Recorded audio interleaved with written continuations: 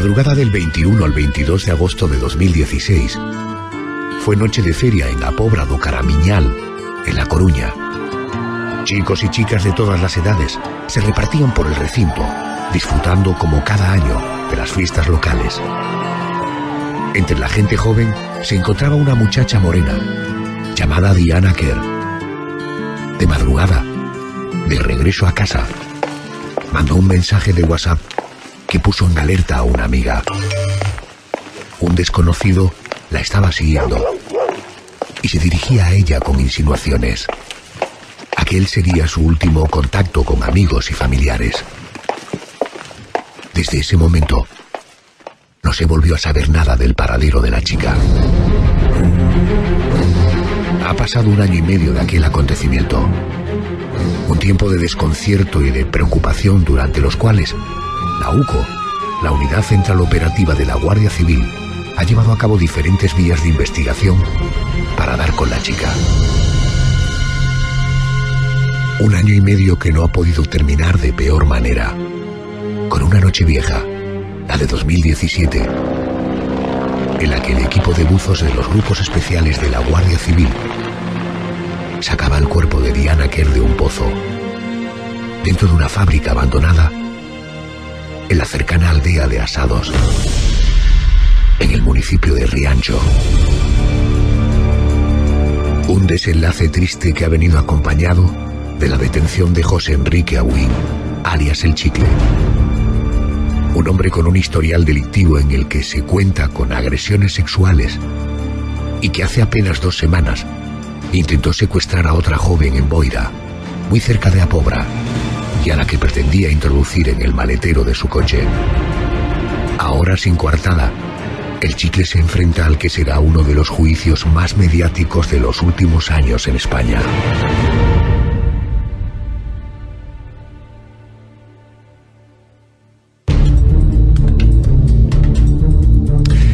Esta noche los últimos acontecimientos nos obligan a fijar la vista en un caso que lleva días acaparando los medios de comunicación.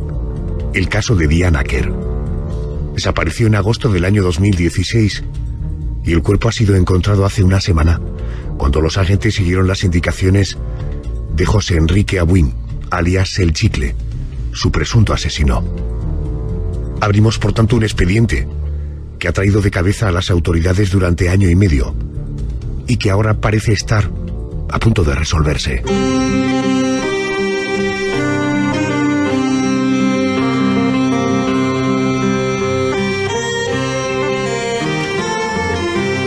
José Manuel Frías, buenas noches y bienvenido. Buenas noches. Vamos a viajar, si te parece, aquella madrugada del 21 al 22 de agosto ya del año 2016 en la que se le pierde la pista a Diana Kerr.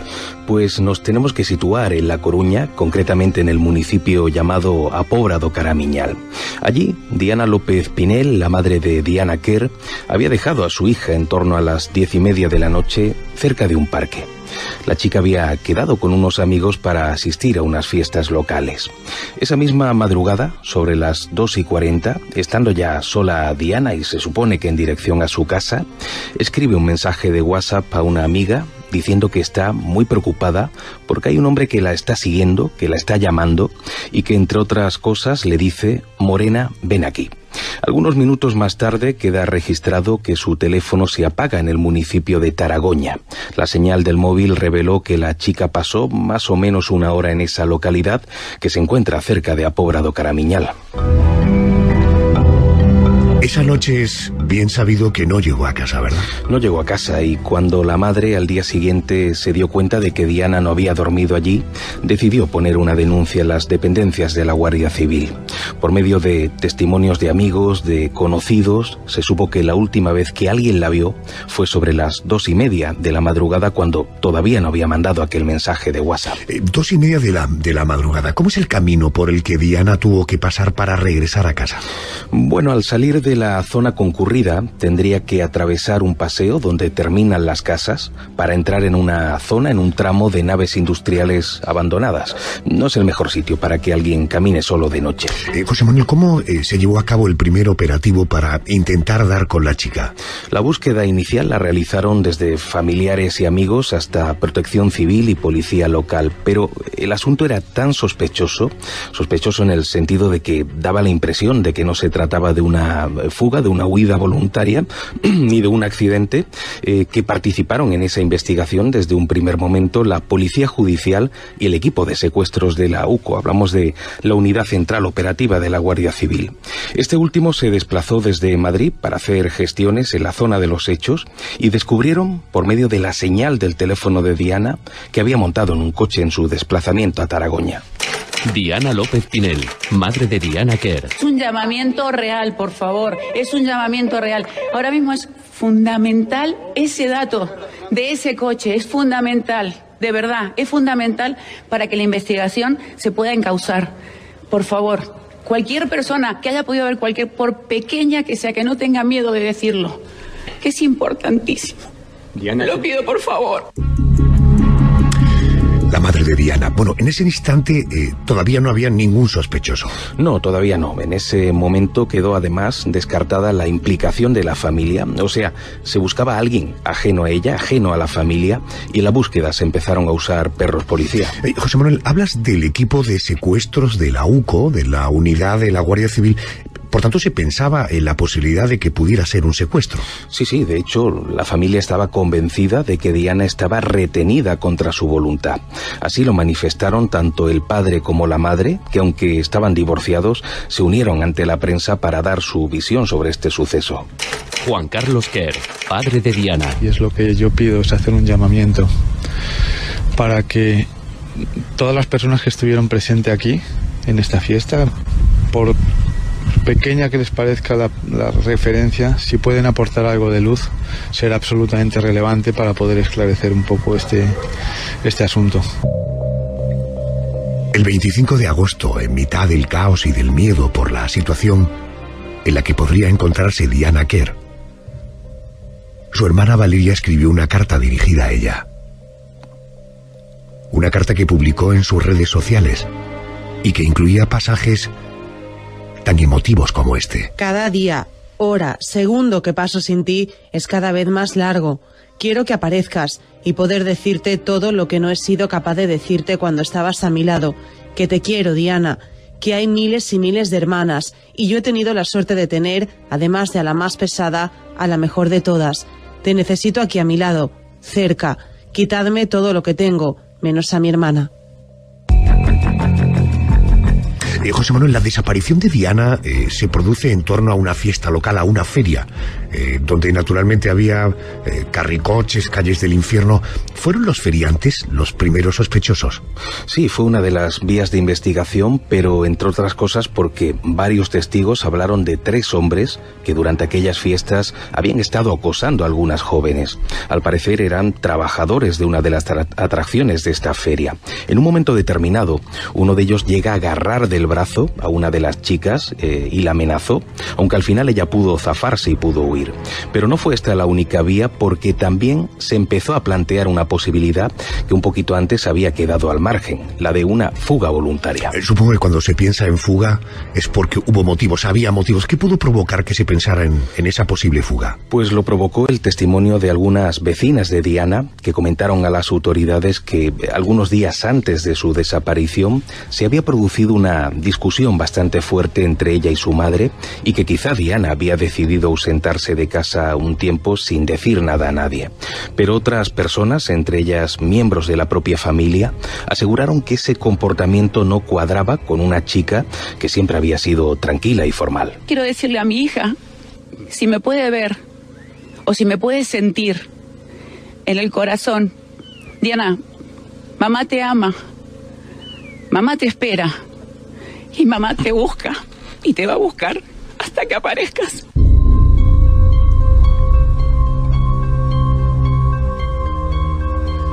Uno de los datos que apuntan que la idea de una fuga no tenía mucho sentido. Es que Diana Kerr no llevaba documentación encima, ¿verdad? No llevaba nada, ni su DNI, ni su tarjeta de crédito, y eso era lo que hacía pensar a la familia que no se fue de manera voluntaria. Diana llevaba solamente su teléfono móvil y muy poquito dinero.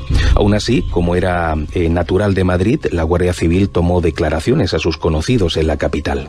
Juan Carlos Kerr, padre de Diana. Iba sin, en consecuencia, sin ningún tipo de, de documentación. ¿eh? Eh, además, tampoco nos consta que tuviera eh, ningún equipaje que bueno, pueda yo, haber llevado consigo, con lo cual, de alguna forma, el tema de la retención ilegal, eh, en nuestra opinión, es la que, la que cobra más relevancia. La sorpresa llega el 1 de septiembre de aquel 2016, cuando un juez le quita la custodia de Valeria, hermana menor de la desaparecida, a Diana López Pinel, a la madre. Hasta ese momento, las dos hermanas habían vivido juntas, junto a su madre. Aunque se trataba de un asunto no necesariamente vinculado con el caso, supuso una bomba mediática. Esta decisión judicial sacó a la luz las discusiones frecuentes entre la madre y sus hijas. En una de ellas, Valeria, la hermana menor, y su madre tuvieron que acudir muy alteradas a un centro de salud. El caso Diana Kerr parecía poner de nuevo el punto de mira sobre la propia familia.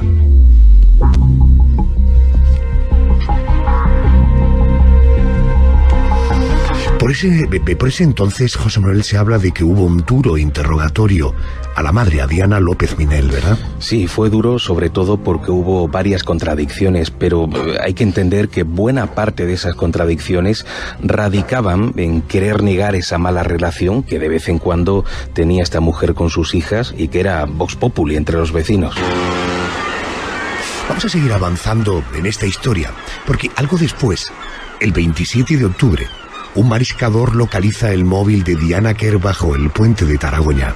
José, ¿sirvió ¿Ha servido este descubrimiento para avanzar en la investigación? Al menos sirvió para centrarse de nuevo en la posibilidad de un secuestro, porque no tenía lógica que la chica tirara su móvil de aquella manera. La hipótesis entonces era la de que alguien se llevó a Diana en su coche en dirección a Taragoña. Jorge Fernández Díaz, ministro del Interior en funciones por aquel entonces. La Guardia Civil tiene acumulada ya muchísima información y que en estos momentos trabaja para intentar eh, cuadrar el puzzle. Eh, y sobre dos vías de investigación, que son las que en estos momentos la Guardia Civil está manejando sus investigaciones. Una desaparición forzada o una desaparición voluntaria. ¿Cuándo empiezan los investigadores a tener sospechosos de este secuestro? Fue a mediados de noviembre, ahí la investigación se fue estrechando y se identificaron tres coches en los que Diana pudo haber viajado.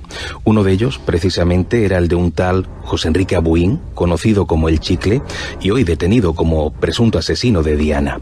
En las investigaciones se pudo comprobar que las trayectorias del vehículo del Chicle y las del móvil de Diana coincidían plenamente. Además, estamos hablando de un personaje con un pasado delictivo, pero todavía no existían pruebas directas como para detenerlo. Me, me dices que se pudo comprobar que las trayectorias del vehículo eh, del chicle y el del móvil de Diana coincidían, pero hubo interrogatorio. Sí, por supuesto. José Enrique aseguró que la noche de la desaparición estuvo con su esposa robando gasolina y la mujer lo confirmó. Eso le sirvió de coartada. Y no solamente la mujer, algunos familiares también le apoyaron en ese sentido. Y eh, José Enrique entregó su móvil que no coincidía con el del recorrido de Diana aquella noche, pero como veremos luego, el chicle había usado otro teléfono el día de la desaparición de la joven. Aquellos tropiezos en la investigación, unidos a la falta de nuevas pistas que resolvieron el enigma, provocaron que el 19 de abril de 2017, después de algunos meses en blanco, el juez de instrucción del número 3 de Ribeira, el juez que instruía la causa, decidió archivar el caso hasta que aparecieran nuevos datos, ya que al parecer se había entrado en una vía muerta. Llegamos a una parte crucial en esta historia, José Manuel, porque aunque con el caso archivado, los agentes siguieron avanzando en la investigación y llegamos a noviembre de 2017. Estaban completamente convencidos de quién era el criminal. Efectivamente, los agentes habían descubierto por medio de la cámara de seguridad de una gasolinera que en contra de lo que el chicle había manifestado al principio, se encontraba la noche de los hechos en el lugar en el que apareció el móvil de Diana. ¿Y por qué no lo detienen en ese momento? Bueno, podrían haberlo hecho, pero era necesario en ese momento tener un poco de sangre fría, aunque supongo que no fue fácil, pero los agentes sabían que si lo detenían inmediatamente, cabía la posibilidad de que no confesara dónde estaba el cuerpo de Diana Kerr. Por eso prefirieron seguir adelante con un seguimiento intensivo para ver si así daban con las pistas necesarias para poder localizarlo.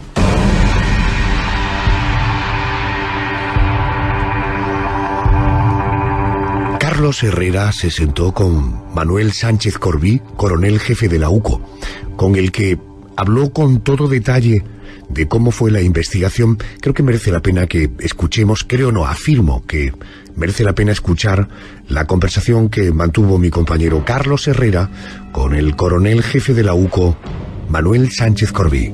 Coronel jefe de la UCO y viejo amigo. Eh, don Manuel, buenos días. Hola, muy buenos días. En primer lugar, les tengo que dar la enhorabuena por el trabajo que ustedes han realizado. ¿eh? Pues muchas gracias. A la UCO. Porque, claro, eh, creo que lo decía usted ayer. Esto era la desaparición de una joven de lo que no había testigos, no había sospechosos, no había móvil aparente, no había cuerpo del delito, no había nada. Es decir, cuando uno está ante eso, ¿con qué empieza?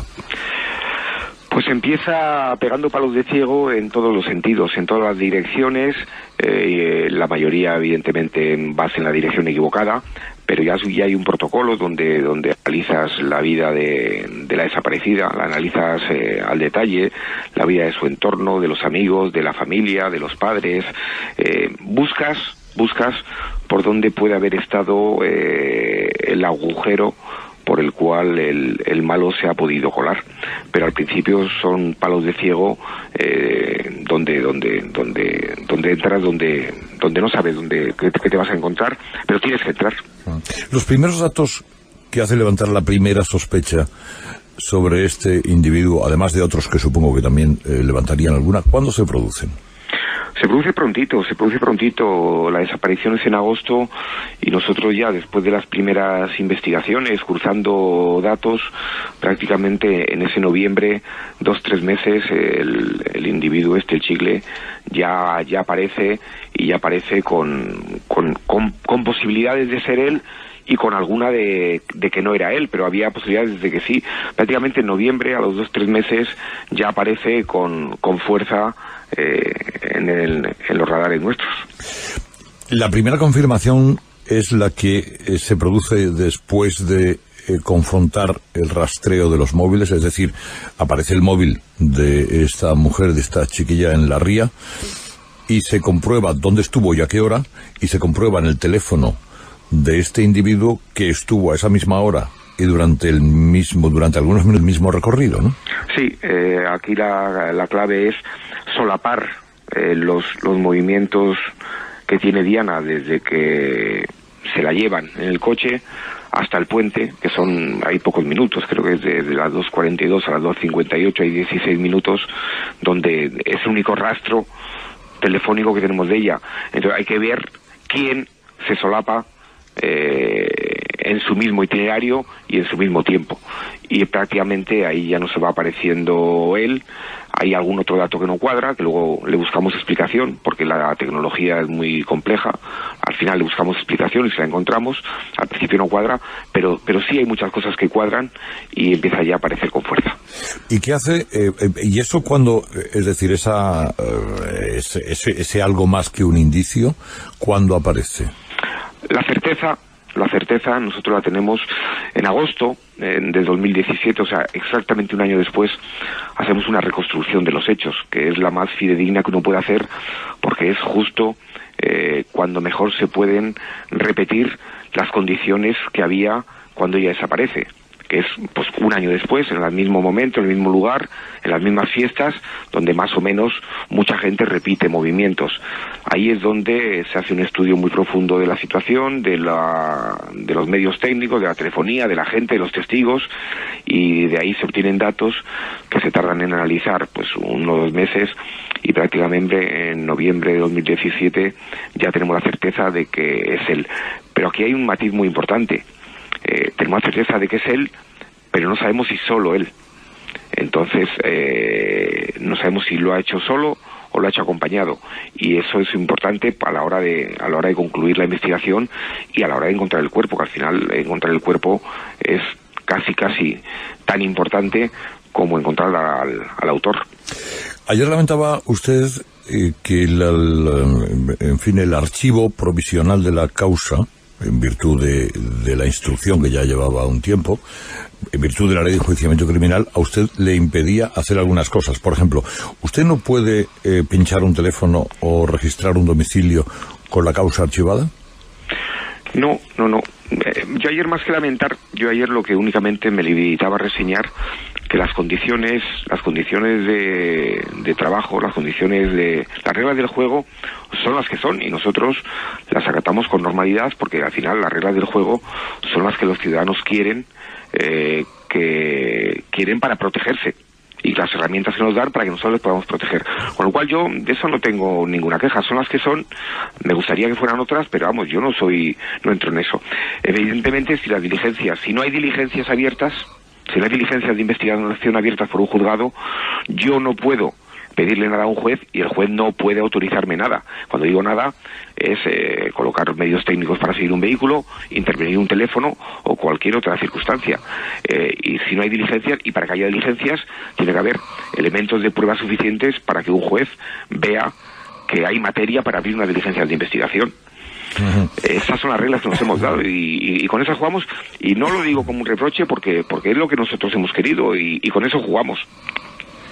Y, también lamentaba usted que hay una restricción europea eh, sobre el acceso a determinada información de teléfonos móviles. ¿Cuál es esa restricción? Sí, hay, ahora mismo hay una corriente, un poco, es, es el eterno dilema entre la libertad, la privacidad, la seguridad. Es un eterno dilema que es que todas las sociedades lo tienen encima de la mesa.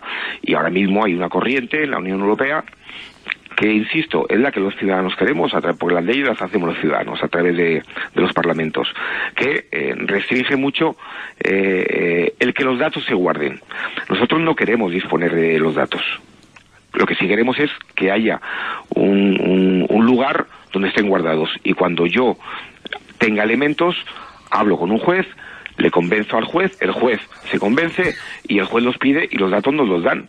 Nosotros no queremos tener acceso libre a la información que hay porque efectivamente la privacidad hay que defenderla, pero pero pero no que se destruyan, porque si se destruye ya aunque aunque yo lo vea necesario y un juez lo vea necesario, ya no existe.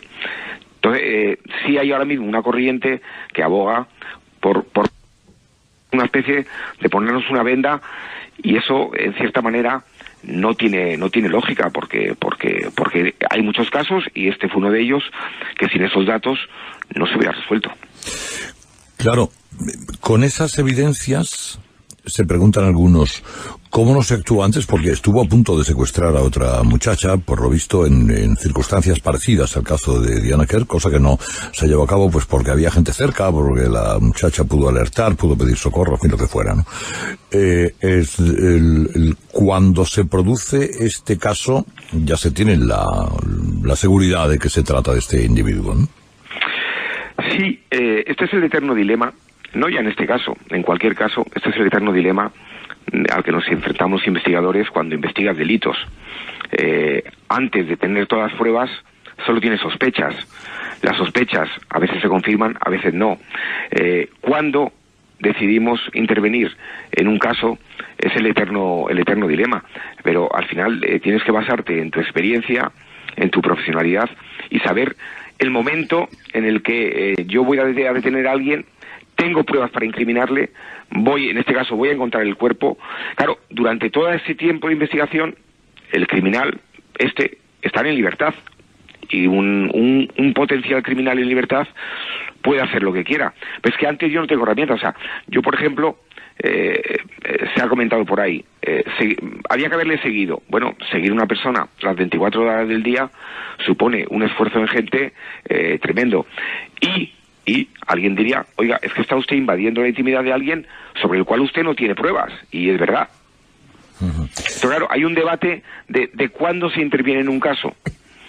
Y al final, cuando sabemos lo que ocurre, era muy fácil decir, claro, es que usted tenía que haber hecho eso. Claro, es que si la pobre Diana hubiera sabido lo que le iba a pasar, esa noche hubiera regresado en taxi a su casa. Es un dilema muy fuerte que tenemos, pero no ya en este caso. Eh, en los casos de drogas, estás vigilando a una organización que trafica con drogas y, mientras estás vigilando, este, eh, sigue traficando. Pero claro, yo tengo que intervenir cuando tenga los elementos eh, de pruebas suficientes y, y, que un juez los avale. Y en este caso concreto teníamos dos circunstancias muy importantes que ya he dicho antes, que no sabemos si actúa solo o no y hay que encontrar el cuerpo. Si yo actúo antes, seguramente el cuerpo no lo encuentro y si no encuentro el cuerpo, eh, el resultado es, es, regular. Y si yo intervengo antes, eh, eh, igual el chicle se queda libre, con lo cual es que no he, arreglado, no he adelantado nada. Pero es el eterno dilema. Y, al final lo que le insisto, cuando al final sabemos lo que pasa, es muy fácil. El juicio que hace la opinión pública, los medios, es un juicio un poco ventajista porque se hace cuando ya se sabe el resultado final. Nosotros no tenemos esa suerte y tenemos que estar jugándola permanentemente, pero es un debate que siempre está ahí, no, no de la Guardia Civil, de todas las policías del mundo. El, el, hecho de que todavía se puedan producir algunas detenciones hace que ustedes no descarten que este hombre actuara acompañado. Bueno, yo creo que esa duda que hemos tenido eh, se ha primero en, en toda la investigación nunca ha habido evidencias de que hubiera dos personas o más. Era una sospecha, pero no ha habido evidencias. Y si unimos el caso de Diana con el caso de, de Boiro, podemos inferir con, con, una razonable posibilidad de éxito de que este hombre actúa solo. Nosotros eh, en esta investigación hemos tenido la suerte de contar con todos los medios del mundo, pues porque se han dado esas circunstancias. Tenemos otros casos eh, con otros desaparecidos que, que, que, que investigamos diariamente, el mismo grupo, la misma gente, que son una prioridad es una prioridad para nosotros porque los desaparecidos son una prioridad para nosotros. Eh, este gobierno lo impulsa, los desaparecidos es algo muy doloroso. Eh, nosotros, en este caso concreto, eh, nunca tuvimos sospecha de que hubiera varias personas y si unimos a lo de Boiro, yo creo, creo, creo estar seguro de que es un hombre que actúa solo. El interrogatorio fue clave eh, esa, ese interrogatorio por separado de la, de la esposa que había presentado una coartada. Ella decía, no, no, si yo estuve esa noche con él y íbamos a robar gasóleo o algo parecido. Cuando se le dice a ella, eh, ojo que encubrir es un delito muy castigado, y cuando ella reconoce eh, que es ser una coartada falsa, él entonces se derrumba. En España la detención la detención policial que hacemos nosotros, que está avalada por un juez, eh, y el tiempo que el detenido está en dependencias policiales es tiempo pues para investigar y para cotejar pruebas. En este caso concreto, eh, la esposa se la detiene primero porque el día de los hechos de Diana miente, con lo cual miente o porque encubre o porque es coautora. Entonces, eh, la hipótesis es que pueda ser coautora. La realidad, ¿cuál fue? que el chicle, tanto a la esposa como a los cuñados, les, les convence para que mientan, pero, pero no, no le cuenta que es el autor, ni ellos sospechan que es el autor. Lo que pasa es que como es un, es un delincuente, pues lo encubren, pues porque a los delincuentes, la familia, pues bueno, pues es un delincuente, pues, pues, a la policía no le voy a contar la verdad. ¿Qué ocurre? Cuando nosotros detenemos a la mujer y hablamos con la, con la esposa y le mostramos las pruebas que hay, que dicen que el chicle ese día eh, ha salido y, ha hecho con Diana lo que, lo, que la ha secuestrado y además les ponemos los datos de Boiro, la mujer abre los ojos y la mujer dice, ostras, yo ese día le encubrí, pero porque pensaba otra cosa, ahora que sé la verdad, le dejo de encubrir. Claro, cuando la mujer le ha dejado de encubrir, el chicle, primero, se ve que su película se derrumba y segundo, anímicamente, se ve que se queda eh, solo ante un futuro muy negro. Y yo creo que eso es clave para que él diga, pues mire, primero reconoce mm, una muerte por accidente, que a nosotros no nos parece muy creíble, pero bueno, eso la autopsia determinará si sí o si no, y luego ya eh, yo creo que la, la el, haber estado tanto tiempo aguantando un secreto tan importante eh, hace que cuando pierda eh, los soportes eh, psicológicos que le mantenían, eh, quiera reparar el daño y diga dónde está el cuerpo. Dos últimas preguntas por mi parte. Una, Eh, sabemos lo que sabemos que la metió en el maletero, eh, se la llevó a una nave. ¿Ha confesado lo que hizo con ella en esa nave? No, no, ni siquiera sabemos dónde se la lleva ni cómo se la lleva. Nosotros, en su día, eh, cuando el chicle todavía, bueno, eh, estaba en calidad de testigo, le pedimos que nos dejara el coche para analizarlo. Analizamos el coche, eh, de hecho recortamos un trozo del asiento del conductor y miramos en el maletero y en la parte de atrás, decir, los, los especialistas del Servicio de Criminalística buscando algún vestigio que nos dijera que Diana había estado ahí. No encontramos nada, no encontramos nada, seguramente porque donde fuera que la, que la trasladó, que no lo sabemos, eh, lo habría limpiado. No sabemos qué ocurre, no sabemos eh, qué hace, eh, él no lo ha contado, la autopsia todavía no ha hablado y no sabemos lo que ha hecho. Ahora mismo hemos vuelto y estamos en ello a revisar nuevamente el coche, pues por si, por si, por si una segunda eh, inspección nos diera alguna pista, es poco, poco, poco probable porque la primera se hizo en profundidad, pero mm, ¿qué ocurre desde la zona donde Diana se monta en el coche del chicle hasta, hasta ayer? No lo sabemos. Y una última cuestión. Eh, ¿Le ha complicado su trabajo algún medio de comunicación?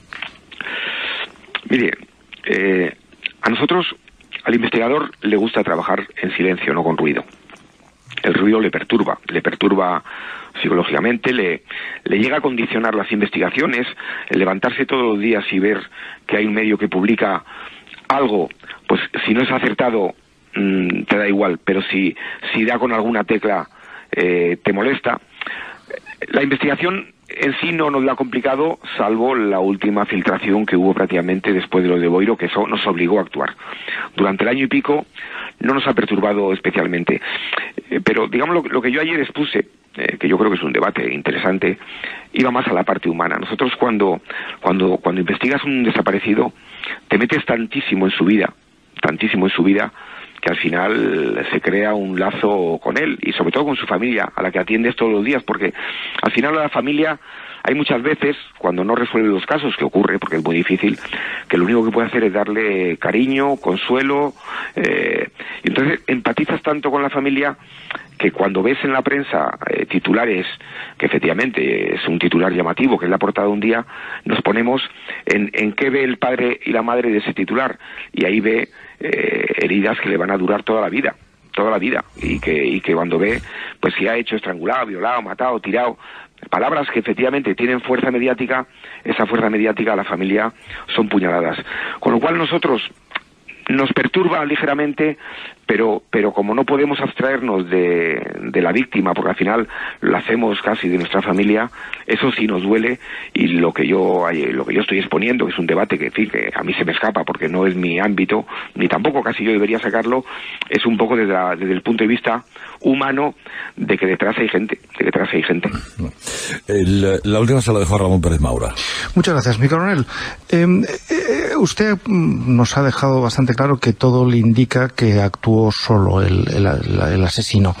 Pero mmm, eh, la chica estaba en un pozo que estaba tapado. Y si mi información es correcta, eh, la Guardia Civil para destapar, para quitar esa tapa, tuvo que utilizar a varias personas y medios mecánicos, un coche que tiraba de la tapa.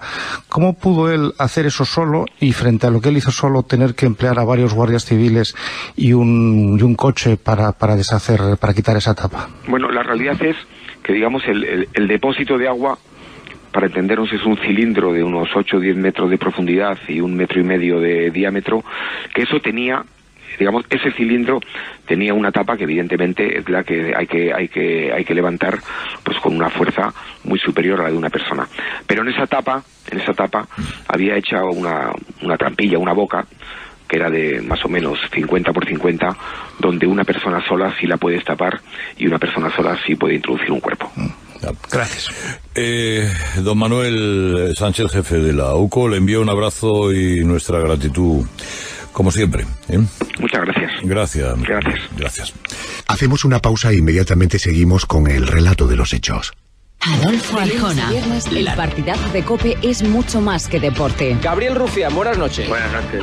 A, las personas importantes, por favor, que nos digan el grito Vamos España. Pero ya te estás sobrando un poco. No, no. Vamos selección, dijéramos, ¿no? Venga, pues me vale Vamos selección. Vamos selección. De once y media de la noche a una y media de la madrugada, el partidazo de Cope con Juanma Castaño es mucho más que deporte. Muchas gracias, ¿eh? más de énfasis, ¿no? Cope. Referentes que se hacen oír.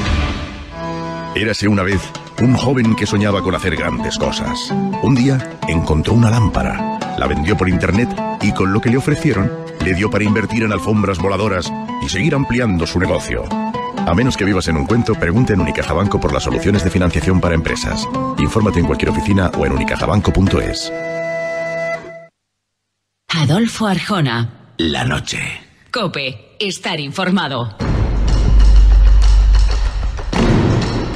Estamos haciendo hoy en nuestra Crónica Negra un relato cronológico del expediente de Diana Kerr.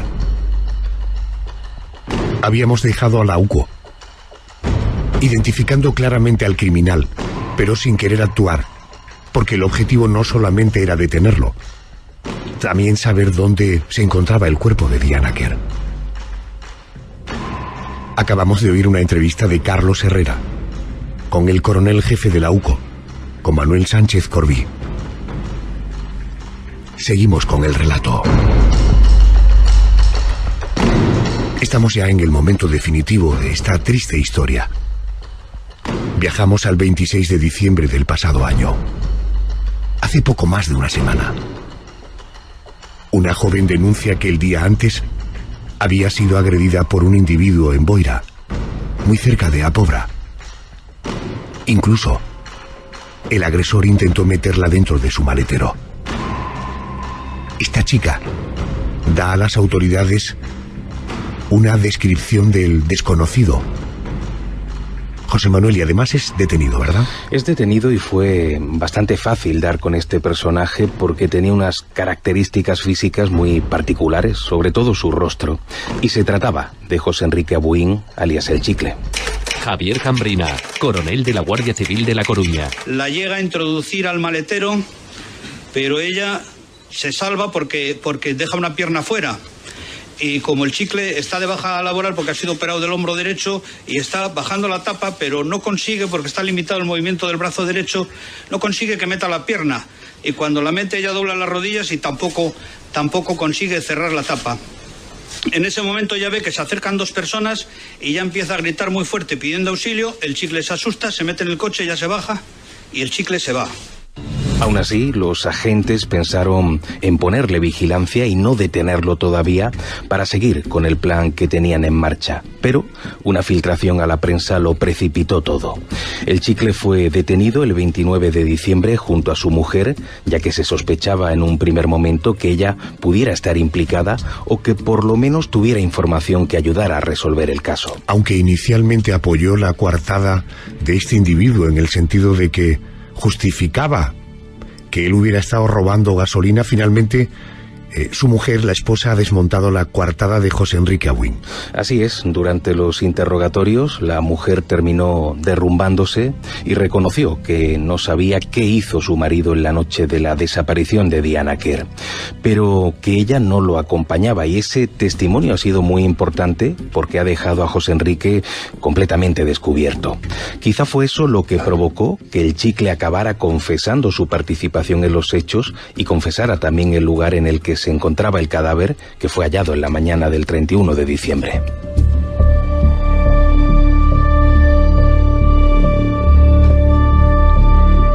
El presunto asesino acompañó a los agentes al lugar. ¿Dónde se encontraba el cuerpo exactamente? Se encontraba en una aldea llamada Asados, en el mismo municipio de Riancho, y de hecho este lugar está a muy pocos kilómetros del domicilio de Diana Kerr. El cadáver estaba en el interior de un pozo, en el sótano de una fábrica abandonada, y la gente del lugar ha quedado muy sorprendida porque la fábrica estaba en venta y por allí han pasado este año, pues eh, bueno, año y medio ya, muchos agentes inmobiliarios y aspirantes a compradores.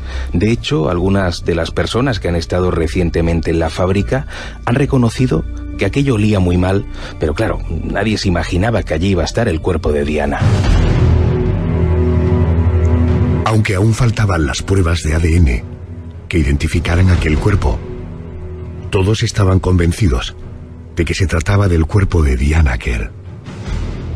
El domingo 31 de diciembre, a las diez y media de la mañana, gracias a la labor de los buzos de los grupos especiales de actividades subacuáticas de la Guardia Civil, se produjo el levantamiento del cadáver. Fue trasladado al Instituto Forense de Santiago de Compostela. José Manuel, si el presunto asesino dio la ubicación del cadáver de Diana Kerr, imagino que habrá detallado lo que ocurrió la noche de la de la desaparición. ¿Qué sabemos que ha contado? Bueno, hay que decir que ha cambiado de versión varias veces. Inicialmente contó que iba circulando con su, vehículo y que sin querer atropelló a Diana y que fue así como la mató. Dijo que se asustó tanto que para evitar problemas la metió en el coche y la tiró al mar. Pero como los agentes encontraban contradicciones en su declaración, lo presionaron hasta que terminó por reconocer que vio a Diana caminar sola por la calle, que la asaltó y que cuando intentó violarla ella se resistió y terminó estrangulándola. Y que una vez muerta la lanzó al pozo al que luego llegó a los agentes. Pero fíjate Adolfo, luego ha regresado a la versión inicial, a la versión de ese atropello involuntario. Tanto en la primera como en la segunda versión, José Enrique ha negado que llegara a violarla, algo que posiblemente se averigüe cuando acaben las pruebas forenses. La chica estuvo bajo el agua casi 500 días, aunque inmediatamente vamos a contactar con una autoridad en materia forense, eh, eso parece que va a complicar el estudio, ¿no? Que se haga. Sí, siempre es complicado un estudio de este tipo y más después de tanto tiempo. Pero los especialistas aseguran que el cuerpo se ha conservado medianamente bien porque ha estado sumergido en un manantial de agua dulce, de agua muy pura y a una temperatura bastante baja. Eso va a permitir a los forenses saber de qué murió Diana y si hubo o no hubo agresión sexual. En ese sentido es sospechoso que la chica apareciera desnuda y que además tuviera unas pesas en la cintura para provocar que su cuerpo se hundiera. Lo que es la ropa se la llevó su agresor y la quemó. Estamos, por tanto, a la espera de que el resultado de la autopsia permita avanzar en la conclusión de este caso, pero queremos saber algo más sobre las diligencias forenses que se van a llevar a cabo y para ello he querido contactar con un experto, un prestigioso médico forense amigo de este programa, José Cabrera. Doctor Cabrera, muy buenas noches y bienvenido a la noche de COPE. Eh, ¿Qué tal amigos? ¿Cómo estás? Me alegro mucho de saludarte y como siempre agradecerte tus atenciones y tu tiempo. Gracias a vosotros.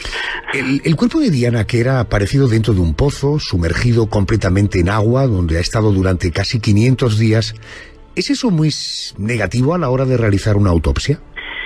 Bueno, pues eso es negativo para unas cosas y positivo para otras. Y me explicaré rápidamente para que los oyentes lo entiendan. Es, es negativo porque lógicamente cuanto menos tiempo ha pasado de la muerte, más cosas en general encontramos los forenses. Pero es positivo en la medida en que el estado en el agua de un cuerpo natural puede acabar en una especie de, aspecto de, cera que nos puede enseñar un año y medio después lesiones que de otra manera no podríamos ver. Por lo tanto, tendremos ahí un claroscuro con, esta, con este cuerpo en concreto. Eh, doctor Cabrera, eh, el forense, el profesional, el compañero suyo que se haya enfrentado eh, al cadáver de Diana Kerr, ¿se ha enfrentado a una imagen dura?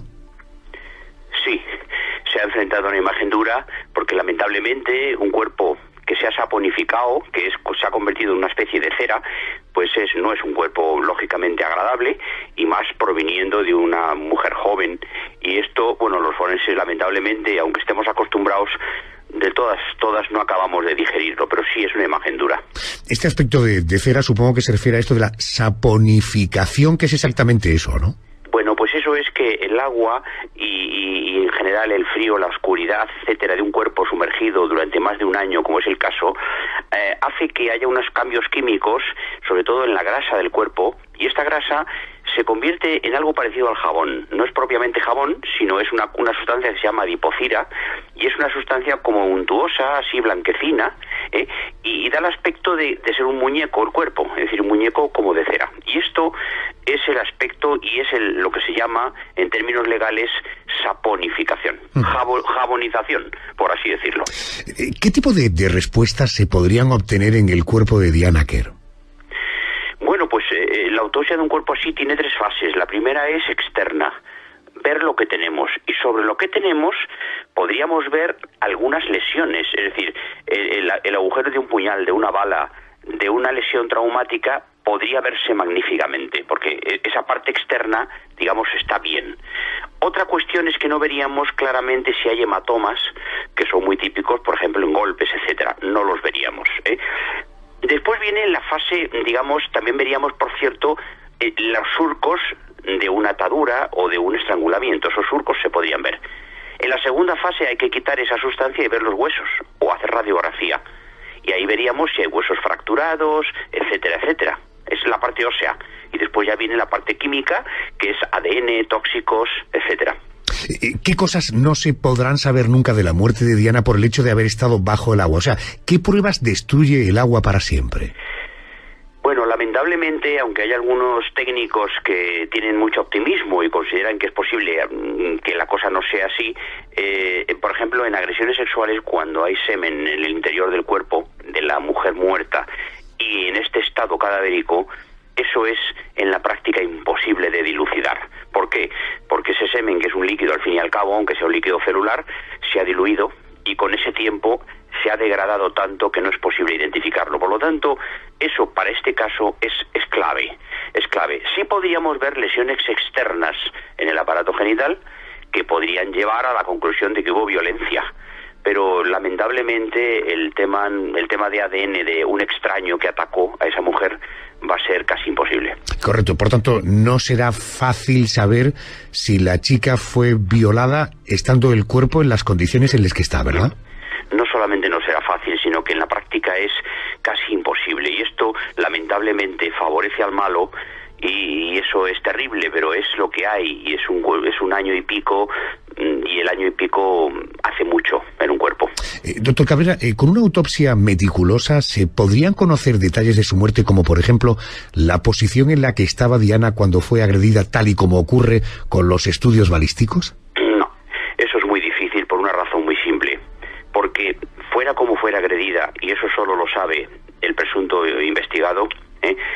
Una vez que ese cuerpo fallece y se tira a un pozo atado con unos pesos, ahí ya el cuerpo cambia de posturas. Porque lógica, y luego está un año, un año y pico metido en agua abajo a varios metros de profundidad. Por lo tanto, la postura del momento, la escena, la conducta que tuvo lugar en aquel momento, en aquella noche maldita, no se va a poder saber de ninguna manera, salvo que hubiera sido grabada y solo la conoce el investigado, el presunto delincuente. Eh, eh, eh, eh, doctor, eh, póngame en mi sitio, por favor. A, mí se me ocurre decir, este tío es un tío que está loco. Para nada. Y esto el oyente lo tiene que entender. La defensa dirá lo que es lógico, que no sabía, que es un hombre que tiene tal o cual problema, que su vida ha sido dura, etcétera, etcétera. Pero la conducta de este sujeto no es la conducta de un enfermo mental. Porque el sujeto, lógicamente, engaña, oculta, eh, escapa, trapichea, tiene antecedentes penales.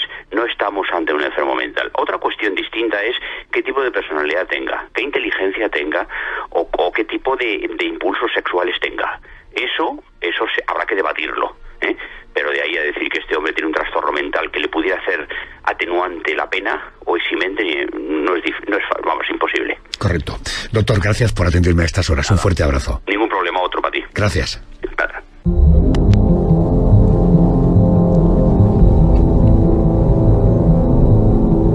José Manuel, no podemos olvidar, no debemos olvidar en esta historia que el chicle tiene perfil de agresor sexual. Sí, hay que recordar que en 2005 la hermana de su mujer, o sea, su cuñada, que tenía entonces 17 años, denunció que él la había agredido sexualmente en un coche, pero curiosamente todos se posicionaron en contra de ella y el chicle nunca fue condenado.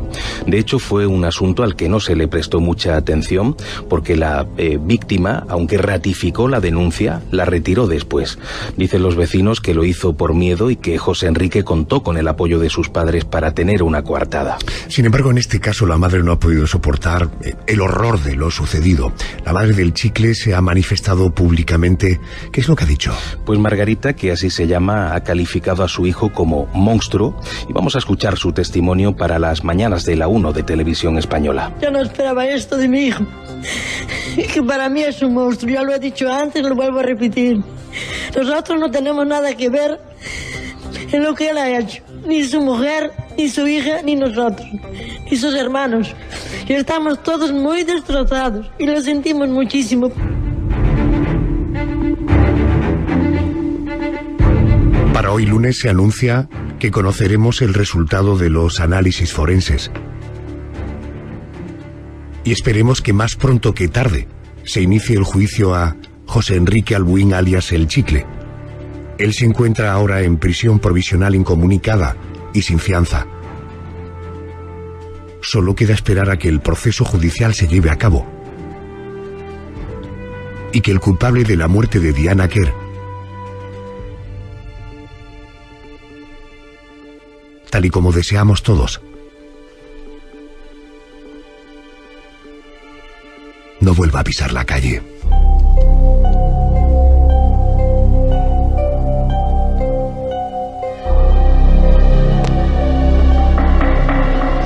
José Manuel, nos encontramos el próximo domingo y abriremos otro expediente de la Crónica Negra. Gracias y buenas noches. Gracias, buenas noches. Gracias.